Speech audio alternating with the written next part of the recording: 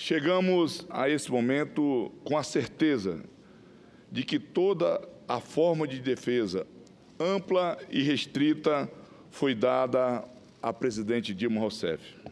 Os trabalhos na comissão de impeachment serviram para convencer a mim e ao povo brasileiro, cada vez mais, que o governo da presidente Dilma Rousseff já faz parte de um passado sombrio do Brasil.